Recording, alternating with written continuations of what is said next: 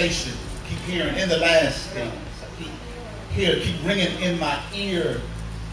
Not to the place where I know it's time for us to look towards the sky and, and get ready to hear a trumpet, but but it reminds me to keep my focus on the my focus on the kingdom of God, not the kingdom of this world, because we can easily our focus. Am I right about it? You want to be honest with me today? Talk to me and let me know, yeah, you, you, you can see yourself losing focus easily today. We come to encourage you with a word uh, as directed by the scriptures in Hebrews chapter 10, but we go on to Genesis. But Hebrews chapter 10, verse 25 says, But encourage one another all the more. So as you see the day approaching, and I see the day approaching, where time is running out, I want to encourage you all the more to keep a right perspective of life. Thank you, Jesus. Keep a right kingdom perspective of life. Life, the Bible talks about life is more than what you wear, what you eat, and what you drink, and where you work, and, and we can get so wrapped up in the mundane, Right. just doing life, and lose our focus on God. Genesis chapter 11, verse 1, if you got it, say amen.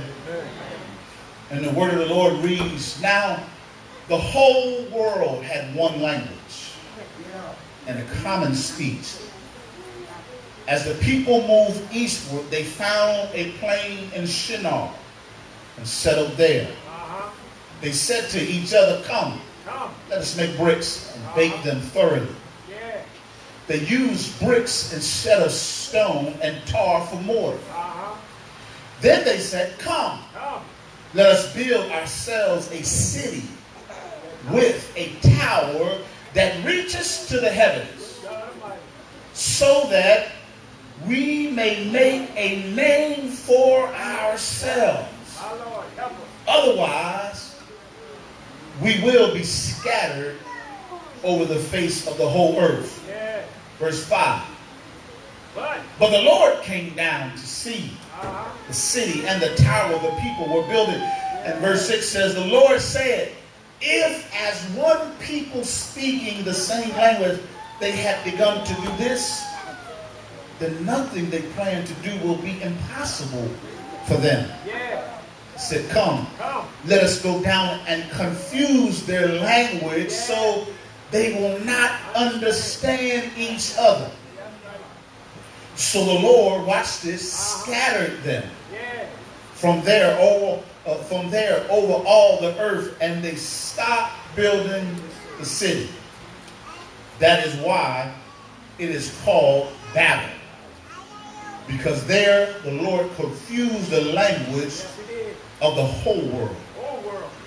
From there the Lord scattered them over the face of the whole earth. God's word is blessed. Let us pray. Father in heaven, we thank you for your word. We thank you for your presence that we already experienced this morning.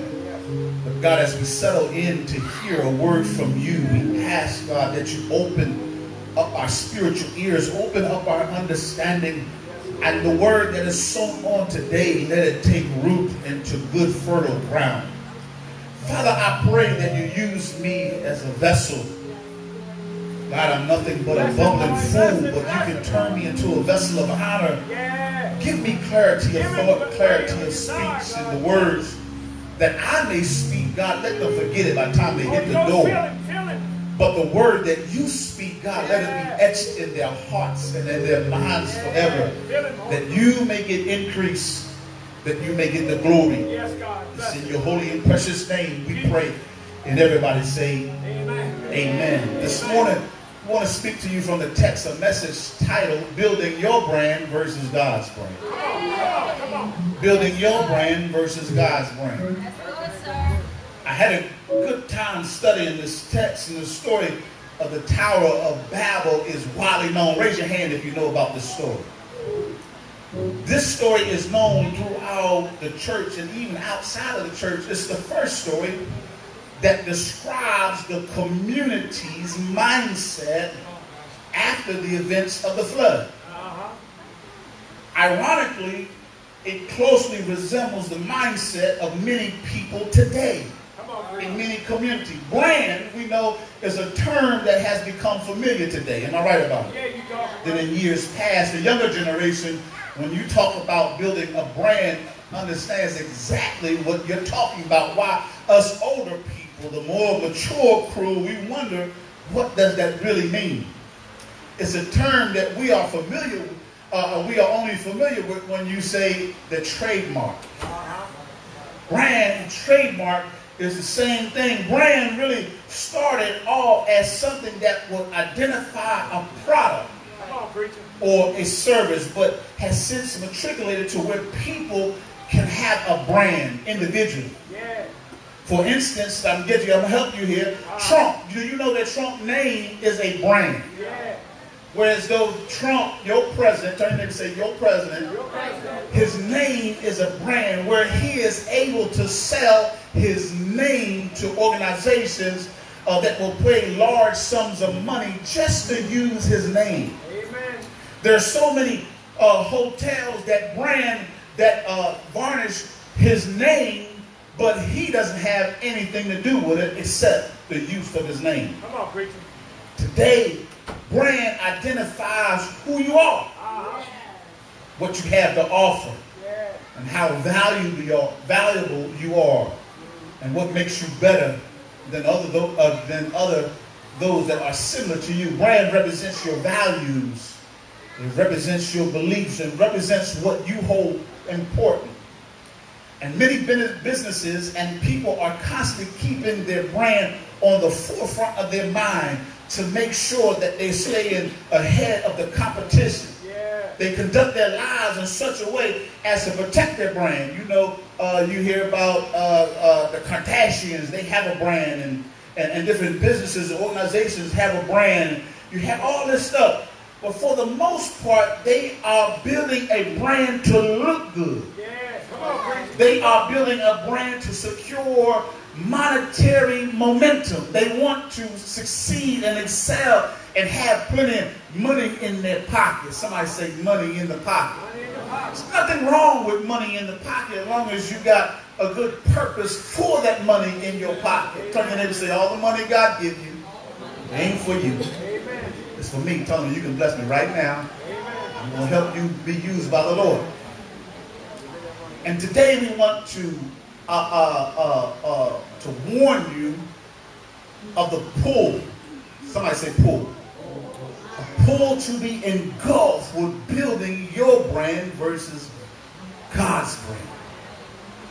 You cannot afford to underestimate that there is a prophetic word in the atmosphere, in the earth realm that will pull you. That will pull you. The Bible says in 2 Timothy chapter 3 says, For people will love only themselves and their money. Amen. Does anybody know that scripture? Yeah. Talks about what's going to happen in the last days. And I see people being pulled into that area where they're prideful, they're boastful, and they're concerned about therefore and no more. My God, help us. Says they will be proud and boastful. In other words, they will be concerned more about their brand than the things of God. The text describes a people who got caught up. They got caught up in building their brand. They forgot about uh, uh, building God's. Amen. The Bible gives us stark warning about getting caught up in pursuit of our own success and forgetting about the will of God. And it's so, I'm telling you, I'm telling you, and I want you to hear me, that somehow you have to, uh, you have to always step back and regain your focus in your life. If I ask you uh, uh, to be honest, you would probably say that Monday, Tuesday, Wednesday, and Thursday this week, you probably did the same thing. Come on, preacher. Got up,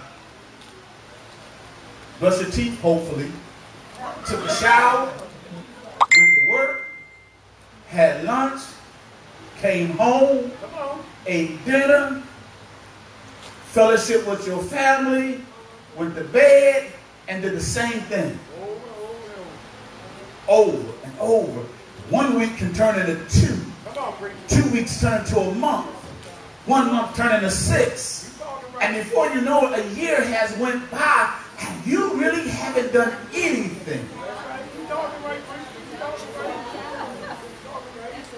But the text describes a people who got caught up.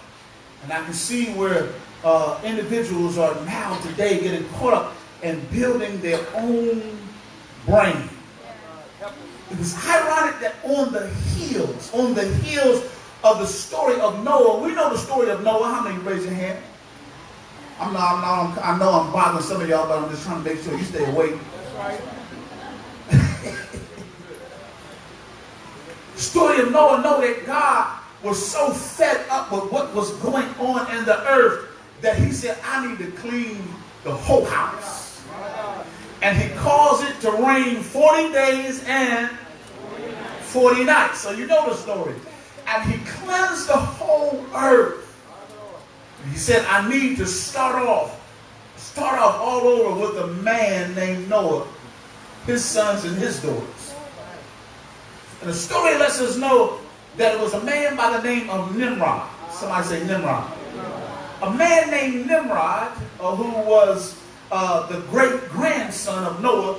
Verse 10 and 10 says that Babel was the beginning of his kingdom. God Almighty. He was a hunter. He was a builder. God had gifted him to have great abilities, but he decided to use those abilities to build his kingdom and not the kingdom of God. His name, some of us older people understand, his name Nimrod is synonymous with what? The title of a fool. You ever heard somebody say you a Nimrod? That really was talking about somebody being a fool.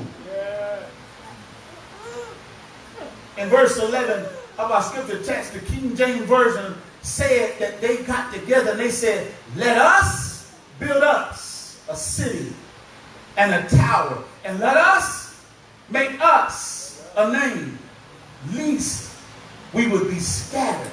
In other words, they were saying, Let us build a brand, let us build a name for ourselves, let us build security, let us uh, uh, let everybody know how great we are, let us uh, uh, build this city, this tower, so that we can show to everybody that we have the power. My Lord. Help us.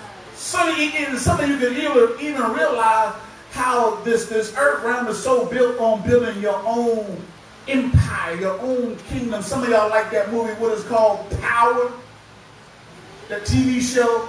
I got to see power. I got to see empire. I got to see all these shows that dictate people are just trying. American Idol is building what? A name and a brand for yourself. God. Help us. We got to realize that God does not want us to, to have a mindset where we're only concerned about what we can do for us. First number point, point I have this morning is do you talk more about your goals than you talk about God's goals for you? Let us build us. Let us do this.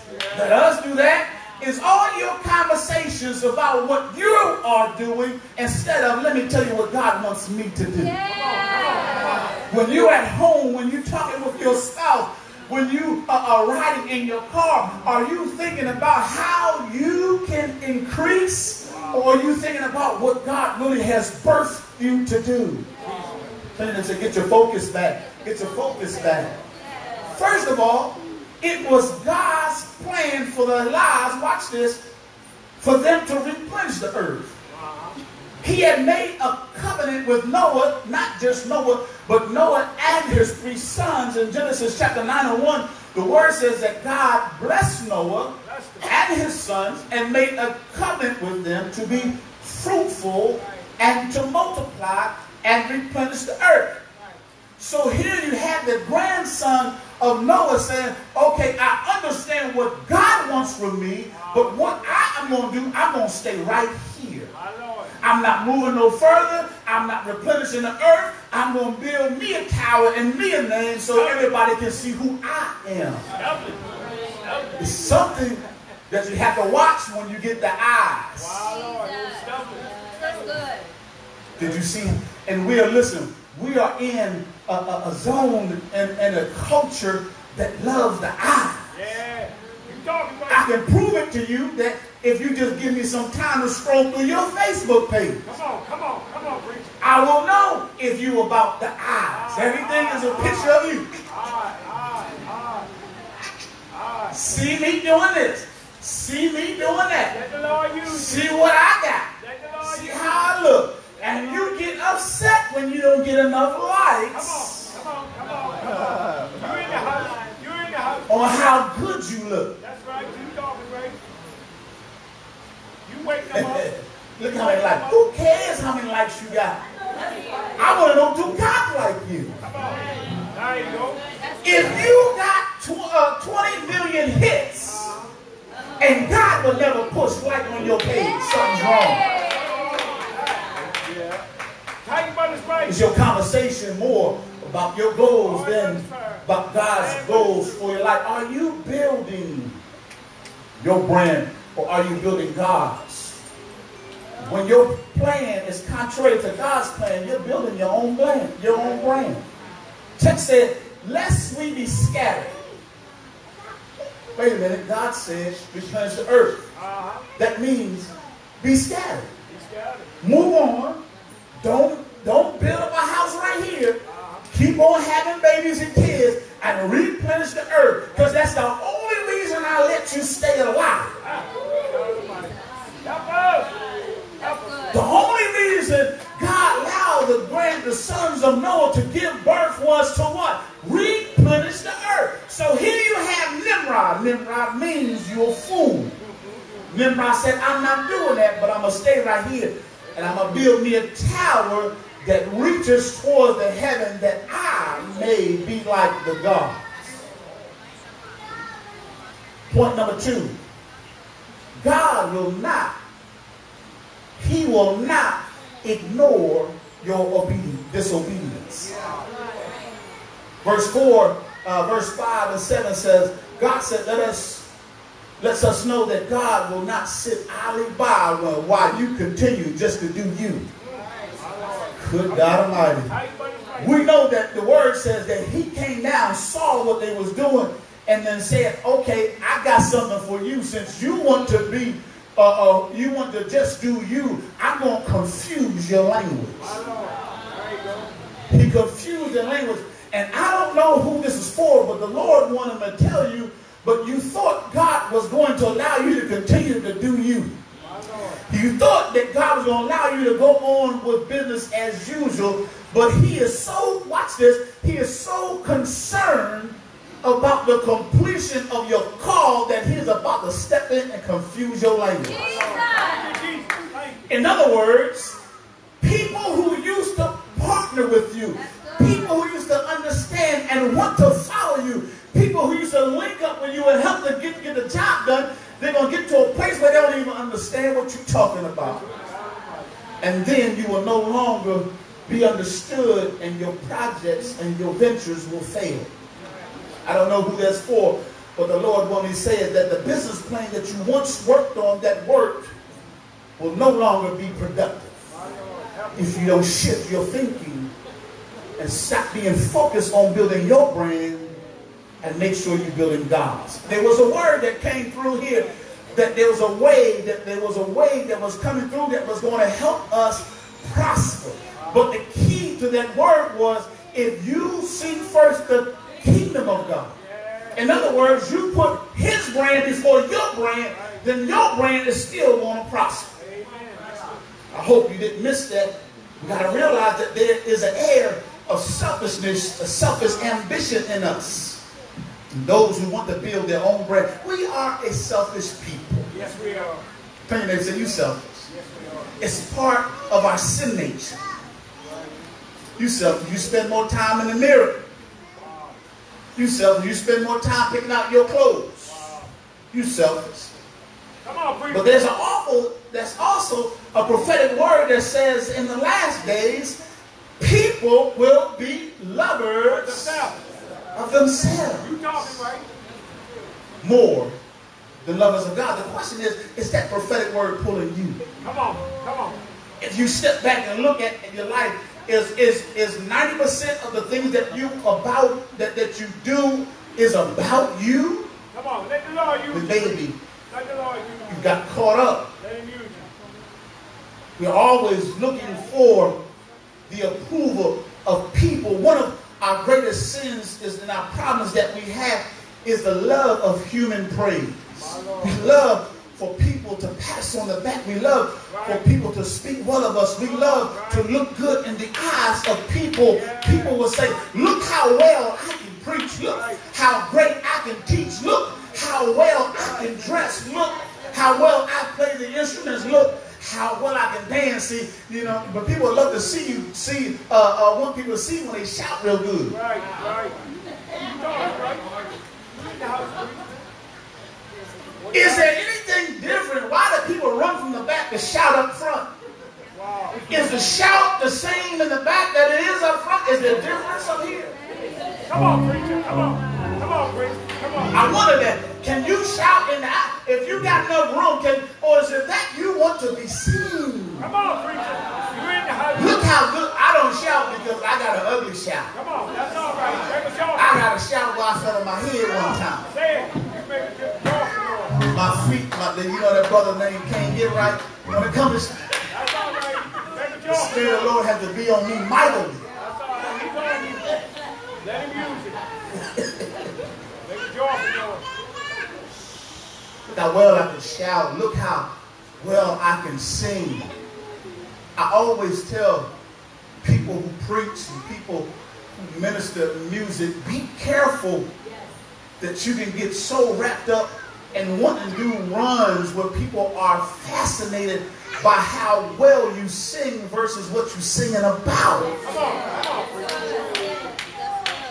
How often have you seen people singing and they begin to do certain runs and you stand there and you look at them talking about, go ahead, go ahead, but you ain't even thinking about God. Right. Good job about it.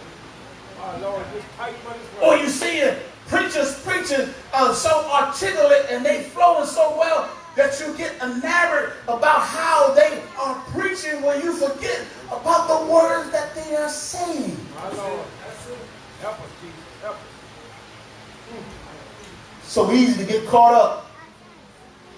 We're concerned about how many likes we get, how many views we get on our videos on Facebook. Let him use you. The same people, they wanted to build a name for themselves. They wanted the praises of the people. They wanted recognition. They wanted notoriety. They wanted to be in the in crowd. They wanted others to know their name. Amen. God let us know right away this is not what I called you to. Uh-huh. I didn't call you to build this great tower. I didn't call you called you to make a name for yourself. I called you to make my name great. Watch this. When you get caught up in making your name great, you are operating outside of biblical principle. Genesis chapter 12, verse 2 is the proof. Genesis chapter 12, verse 2 is the proof. He said to Abraham, will make you into a great nation. God says, I will make your name great. When you are about building God's brand, He will make your name great. that's right. I ain't going. So here it was in, uh, uh, in, the, in, in the Tower of Babel, Nimrod was trying to make a great name for himself. But the, in, in the next chapter, God gives us the right plan. I will make your name great when you do what I told you to do. Amen. There you go. Good God Almighty, are you building your brand or God's brand? See the difference? God is the one that makes our name great.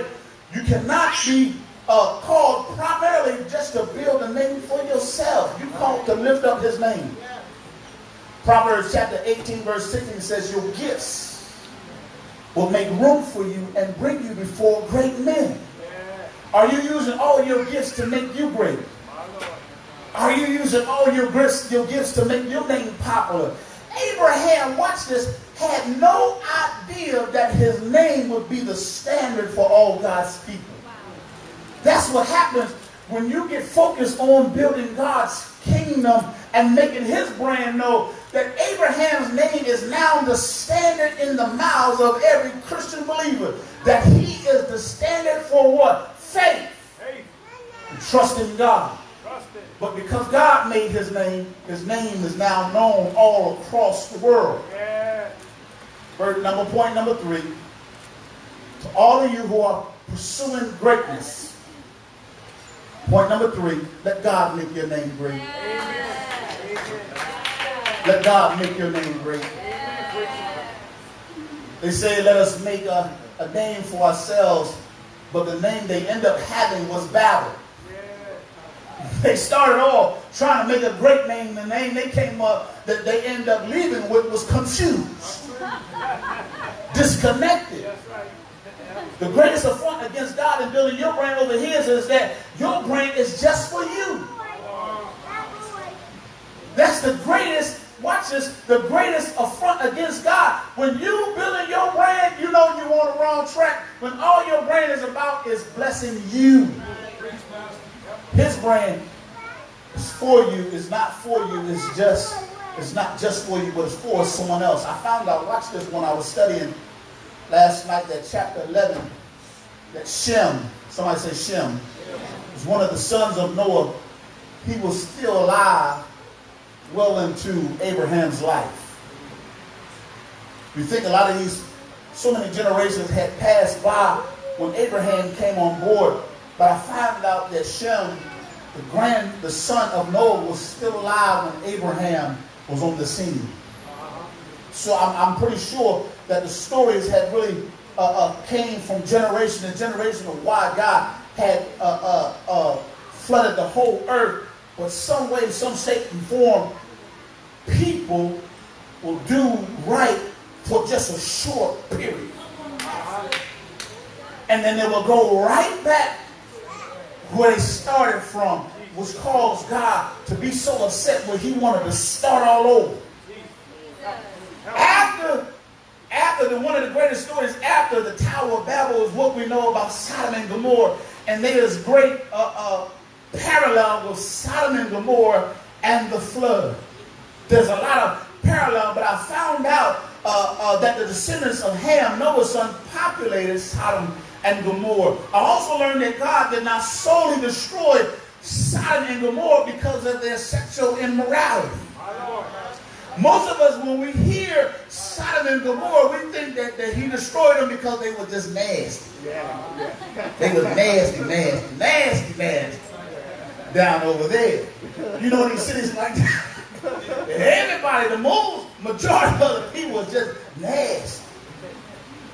But I found out that that wasn't the real, real reason that he destroyed Sodom. Watch this. Somebody get, I want, I want you to write this down. This is in the word Ezekiel chapter 16. Turn to it if you have it. Ezekiel chapter 16. It's so important that you get it. We're still talking about building your brand. Why God hates for us to lose focus and when we just build our own house and forget about his. Amen. We all know about how he called fire and brimstone down on Sodom. Most of us, when we hear it, we think it's because their sexual, their sexual immorality. But Ezekiel chapter 16 lets us know that there was something else going on in Sodom that was really caused God to destroy a city. Ezekiel chapter 16, verse 49 says, And the Lord was speaking to Israel. He was speaking to Israel through the prophet Ezekiel, and he said this.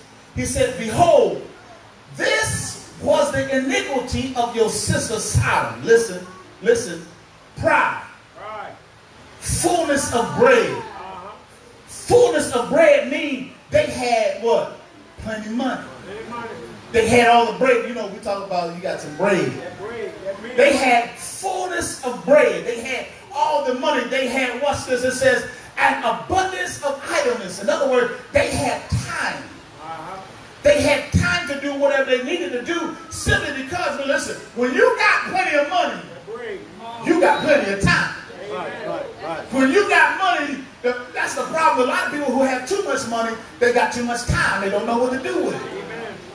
But here it says, watch this. Sodom had pride, fullness of bread, plenty of money, and abundance of idleness. They had plenty of time. Watch this, was in her and in her daughters. Neither did she strengthen the hand of the poor and needy. God Almighty. The main reason that God destroyed Sodom and Gomorrah was not because their sexual immorality, is because they had money and they wasn't helping God's people. Woo.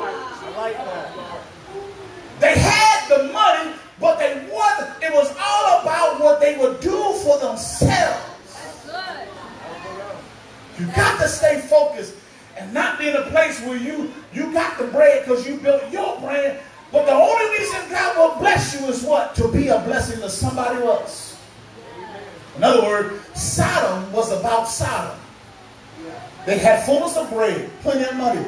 Uh, they had plenty of time on their hand, but they did not use that blessings from God to take care of the needy and the poor. My last point, don't press toward prosperity for your own reward. Don't press towards prosperity for your own reward. If you are pressing to make money so you could be a blessing to somebody else, God will be with you. Yes, okay? But if you are just making sure that you have fullness of bread, so yet your, your pills are met, and that all your needs are taken care of, God will consider you, consider you in the category of Sodom and Gomorrah. Good God, help us, Lord. Understand, understand. Help us. Turn in and say, get your focus back. God told Abraham, I will bless you to make you a blessing. The Lord, the Lord, good God Almighty, I'm losing my voice. The Lord wants to bless you. But he only wants to do it so that you can be a blessing to others. Amen. Some of us will get to the place when God gives you increase and you spend it on you. Jesus. Help us, Lord. Yeah. I'm gonna hurt somebody's feelings. That last increase, that last promotion you got, what you do with that extra? Did you bless somebody in your family? You know Uncle Auntie and them is struggling to pay the electric bill, but you got a promotion. You say, oh, thank you, Jesus. Get that pocketbook. I'm gonna buy that car now. I can afford this amount of money a month. I'm gonna get that watch I've been looking at. Stop, stop, stop, Got family members that you know is struggling. Good, Bible talks about what is it when we shut up our, our bowels of compassion when we have it. You are neglecting the whole faith. Don't get to the place you know over here, the LTM, we call it what? Corban. When you say you tell grandma, I would help you pay that bill, but I got to pay my tithes. Woo! I got to bring it to the house of God. And you let your family members, members lights get shut off because you bring it to God. Or, or got quiet up in here. God, if you want to search it, Jesus calls that Corban. Corban. You don't want to do that. I just wanted to leave you with a message today that would encourage you to play softly. I'm done. Get your focus back. Thank you, Jesus. Get your focus back. Uh-huh. Time has a way snatching your life away. Yes, it is. Days turning to weeks, weeks turning to months, months turning into years. And you realize all those promises that you told God, if you get me out, I'm going to do this. If you see me through this storm, I'm going to serve you. But just like the people in the time of Noah, Sodom and Gomorrah, once you got out, you went to building your own brain. Question was, point one this morning, do you talk more about your goals? That's how you know that you all sync Do you talk more about your goals than God's goals for you? Number two, God will not ignore your outright disobedience. He is full of mercy and full of grace. But when he has called you to something, it's his, his call was to fill and replenish the earth. But when you decide, I'm not doing that, God has to step in. Amen. Jesus. And if he'll cause what you are doing to fail, just so you can start doing what he called you to do, he'll do it. That's right. Don't let him come down and have to confuse your language. Amen. Number three, let God make you a name. Yes. Build his brand first, That's it. and he will. Yes. He has a way of making your name great. Amen. He has a way of opening doors that no man can shut. He has a way of putting you before people and in jobs that your resume would have never got you there. Or your education would have never got you there. Yes. In. Amen. Let him make your name great. Yes. And he's able to do it. Yes, it is. Last point, don't press towards prosperity just for your own reward. Uh-huh. You don't think, remember anything. God was upset with Sodom and Gomorrah because they didn't take care of the poor and needy. So much to the point. And some of you remember the scripture where it says that God said, the cry of Sodom and Gomorrah has reached me. Ah, good God Almighty. Ah, the scripture text says the reason God reacted because he said the cry of Sodom and Gomorrah has reached me. What was that cry? That was the cry from the poor. That was the cry from the need. That was the cry from somebody who needed help. But there was people who were walking right by them. It was that cry that reached the ears of God. He said, I have got to come down and destroy the city because they won't do what I called them to do. They won't do. I put bread in their hand so that there wouldn't be nobody hungry around Good, them. sir. This is good. Everybody standing. Something. Breathe. Think. You have heard me, most people here have heard me say it so many times. Beware of the prophetic pull to disobey God. Those scriptures where it says, in the last days. Many will do X, Y, and Z. Is a prophetic word that will come to pass. The question is, is that pulling you? Are you just so busy with life and not recognizing that that word is pulling you? Thank you, Jesus. Thank you. Grab your neighbor by the hand.